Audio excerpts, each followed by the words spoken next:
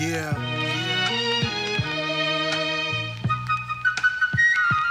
Welcome to the TV show, voice of the stolen people who've been merchandised, dehumanized, brutalized, victimized, tyrannized, terrorized, ostracized, demonized, criminalized, ghettoized, stigmatized, or characterized as less than human.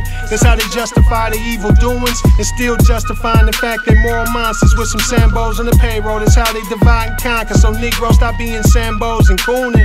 Cause in the end, they depend on you to sabotage the movement for the bag and promoting black on black murder is just as bad. We been had, been hoodwinked, miseducated, still made it though.